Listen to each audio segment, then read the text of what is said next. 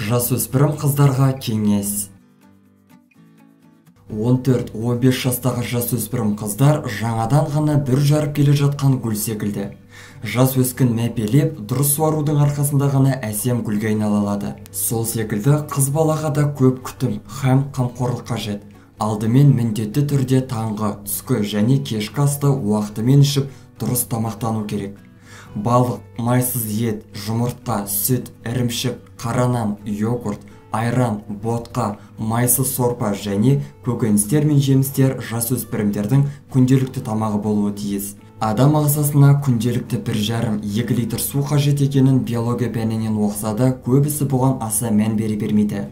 Жасөспірім өтпелі кезеңнің қиыншылықтарынан сабақтың көптігінен тағы да басқа толып жатқан мәселелерден не толысып не қатты арықтап кетіп жатады. Жасөспірімдер өз жасының не балаға жататыны не ересектерге жататынын түсінбей қиналып жатады.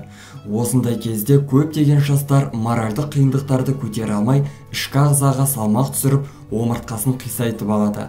Үлкендерден жасырынып темекі тартып ішімдіктің де дәмін тартып көруі мүмкін.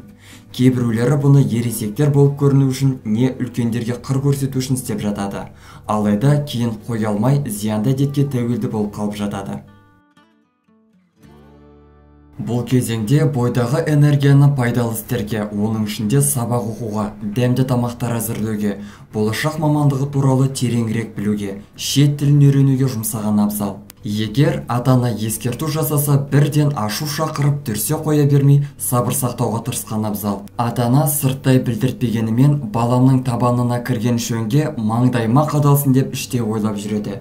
Себебі бала ата ана өмірінің жалғасы бар қызығы. Олар да үлкейіп қалған баласымен қалай қарым қатынас жасауды білмей абдырап уайымдайды. Жасөспірімдер көбіне бет жүзіне көңілі толмай жиі бояна бастайды.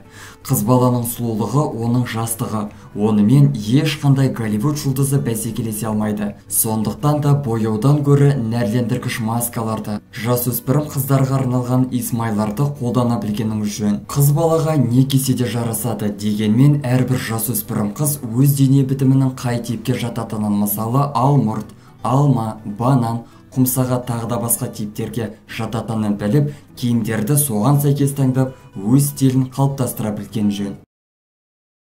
Достар біздің каналға жазылып лайк басуды ұмытпаңыздар. Келесі шығарылымдар тек қана сіздер үшін.